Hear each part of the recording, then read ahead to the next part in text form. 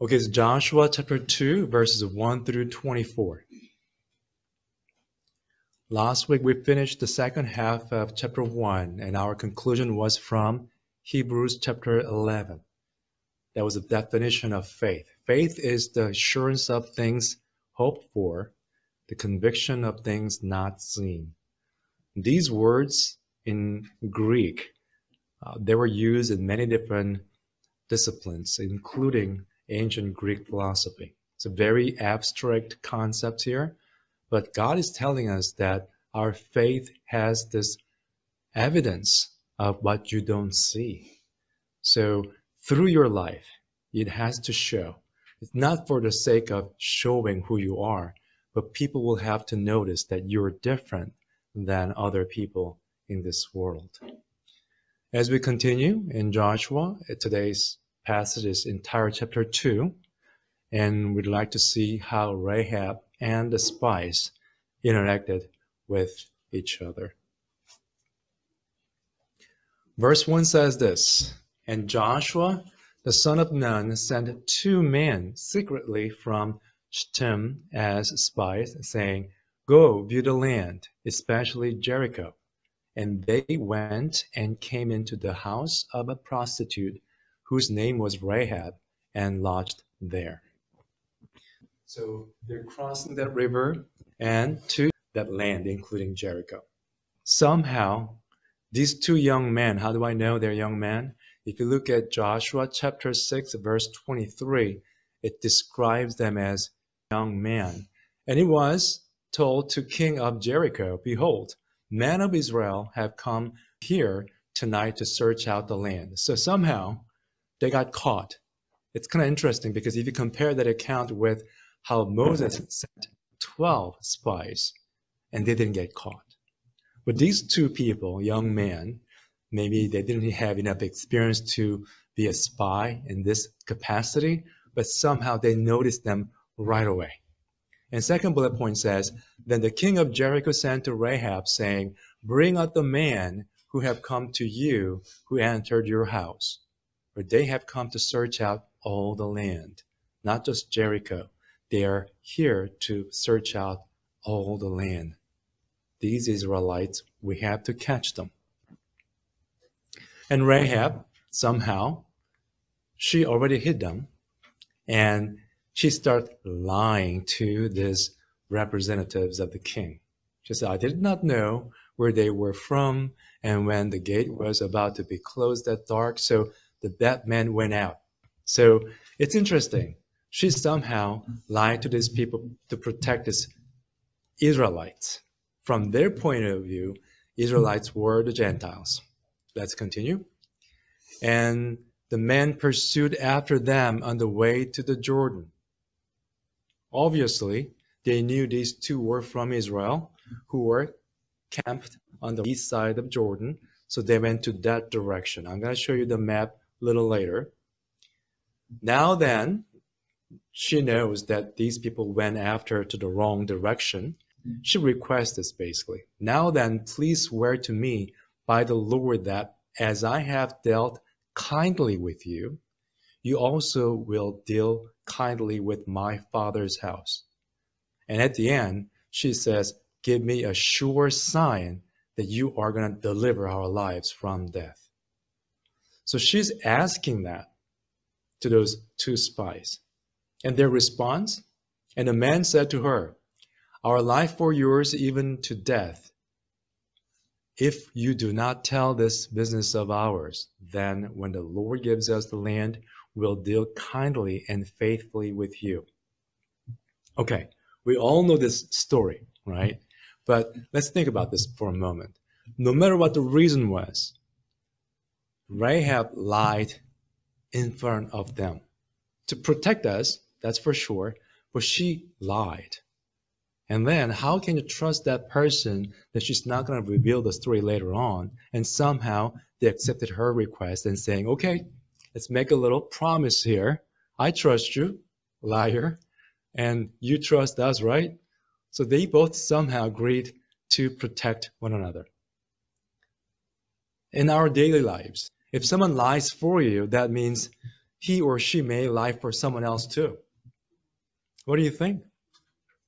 But these two people somehow agreed to protect her based on their agreement. If you do not tell this business of ours to anyone, we're going to deal with you kindly. Verse 15 says, After that confirmation, Rahab did this. Then she let them down by a rope through the window, for her house was built into the city wall, so that she lived in the wall. What does that mean? That's exactly what it means. She lived in the wall. So a lot of people I heard before saying that, oh, this wall was pretty wide, so you can have a little residential area there. Uh, the wall is kind of thick, so you can build something within the wall. That's very speculative way of looking at it. It sounds kind of awful too. Let me share this map with you. This is actually Jericho based on archaeological findings. There are two different walls, inner city wall and outer city wall. So among those in these places, they have at least three different residential quarters. So the first one up there, and the middle one inside the inner city wall, and the third one at the bottom. So if you look at the first and third circle, they're very close to the outer wall.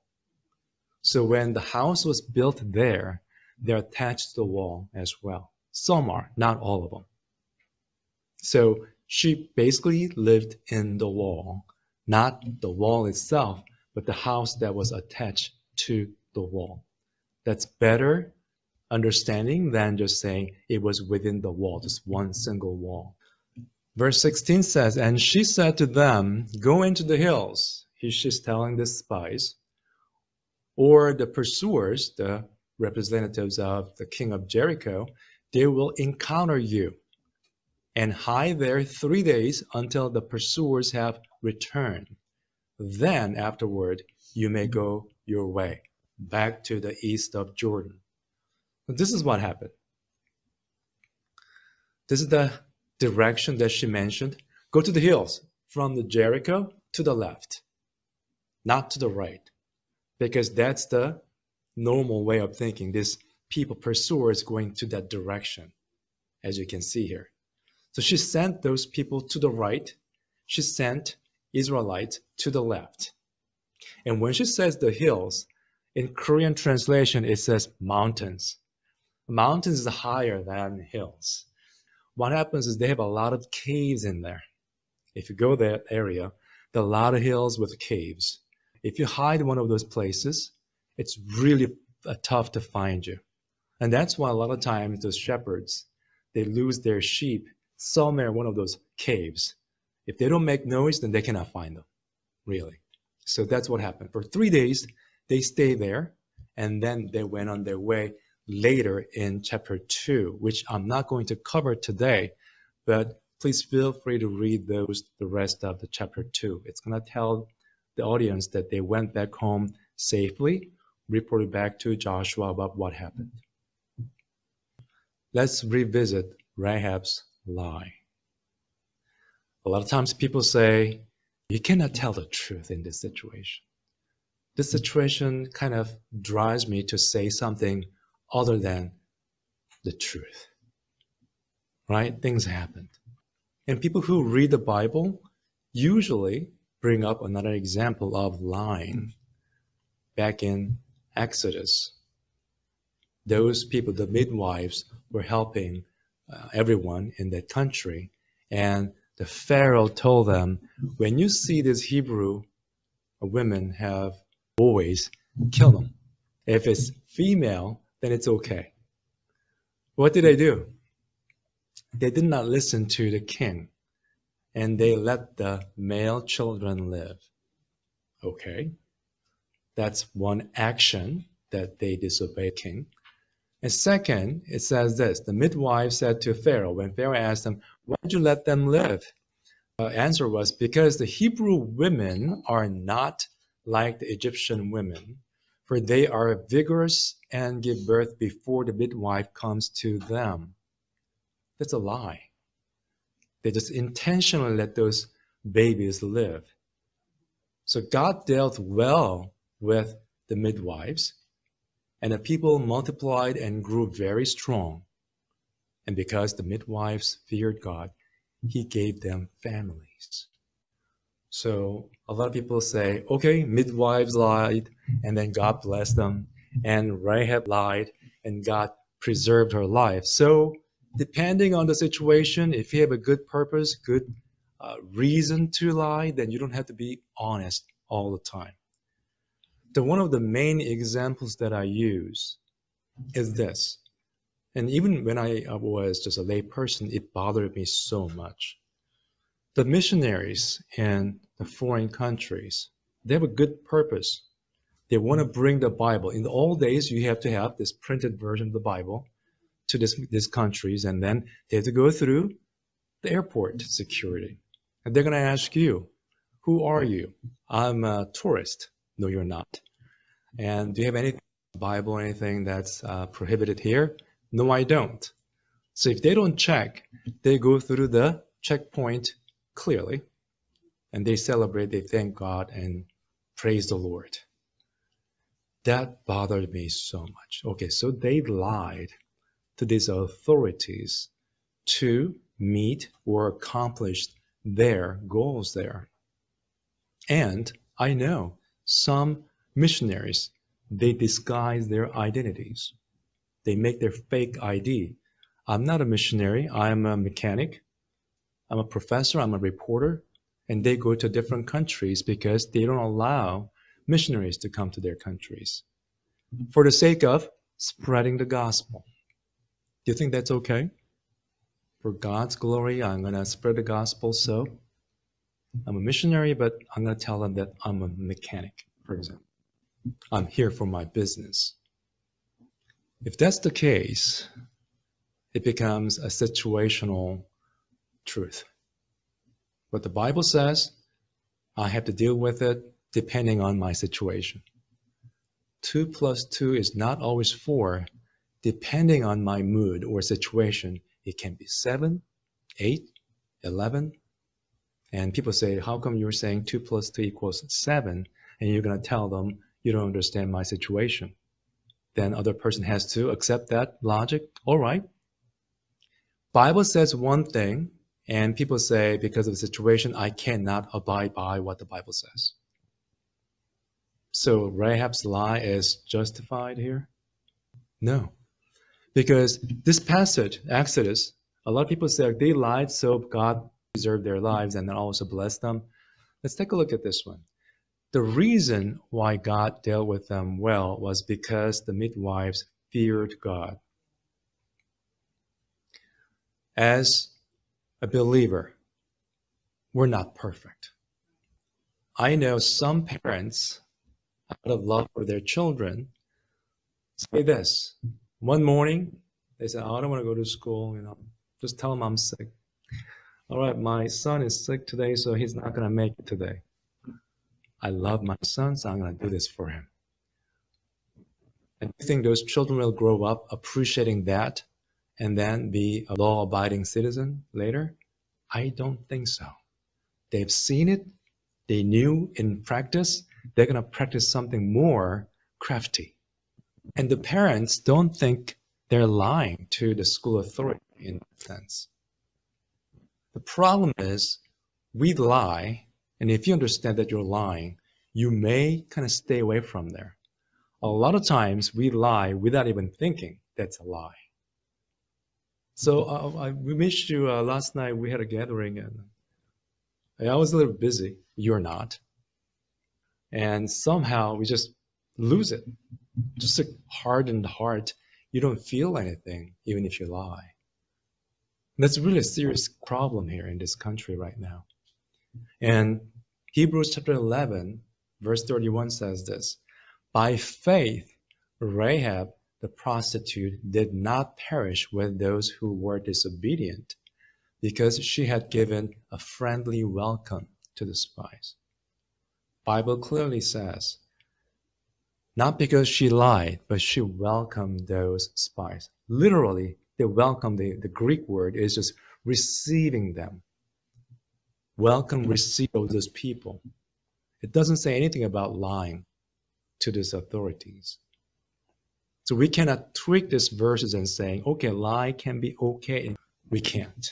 In the Bible, there's so many different verses about this, but Proverbs 12 says this lying lips are an abomination to the Lord. It's not just saying lying is wrong. It's an abomination, very strong word. When it uses abomination to the Lord, it's just covering few items throughout the Bible. A lying is one of them. But those who act faithfully are his delight. One time, people that I know very well, they asked me to come to their business. They recently opened a business that a long time ago. And they're saying that some people will come and check their sales. So they want to show them they have a lot of customers. So they want me to sit there with my wife and eat their food. And when they come over and then approach us and ask us, Are you a client here or a customer here? And then I had to say yes. Do you live close by? Yes, I live right across the street, that kind of thing. So I told them that's lying. And they told me, That's not lying. I said, What? Huge problem right there. They don't even see that as lying. But lying lips are an abomination to the Lord. So we're not supposed to intentionally lie. John chapter 8, verse 44. That's from Jesus, his own words right there. You are of your father, the devil, and your will is to do your father's desires. He was a murderer from the beginning and does not stand in the truth. Of course not because there's no truth in him. When he lies, when the devil lies, he speaks out of his own character, for he is a liar and the father of lies. He's the one who tempted Eve in Genesis chapter 3. Did God really tell you? And start lying, you're not going to die. Just eat of this tree, this fruit a liar and the father of lies, and he is speaking out of his own character. What's inside of him comes out. Deceiver, liar. So how does it impact our lives? So let's not just focus on, okay, lying versus like being truthful, but it can expand into your entire life. Meaning, you're not going to show everyone about who you are, who truly are, who you truly are, right? So think about this. There's two people there. One person, she doesn't want to show true identity. So she's basically having this space. Okay, you don't come near my space. Don't come to this space. I want to have a certain distance with you. The other person has the same thing. He doesn't feel comfortable people coming into his territory. So whenever they meet and say and doing something together, they only share that little portion that they feel comfortable sharing. Even if you know that person or have known that person for more than 10 years, you do not know anything about that person. Because that person doesn't open up to you. I don't open up myself to that person either. And a lot of people say this if you do that, you get closer to that person, but you get burned, you get hurt. It, it happens all the time. The human relationship, you cannot trust anyone. We all went through that experience in our lives. Trusting somebody too much and that person betrayed me or burned from that relationship. It happens. So think about this. If it happens in your family, if it happens in your workplace, if it happens in your church, you can meet some people everywhere you go, hundreds and thousands of them. Every single day you're hanging out with these people, but you're only sharing this portion of it, right? That you feel comfortable. So even if you meet thousands of people in your life, have so many friends, if you only share that portion of you, then you are going to feel empty in that relationship. Nothing's gonna satisfy you. You may have a bunch of friends, but you're not gonna have any friends, basically.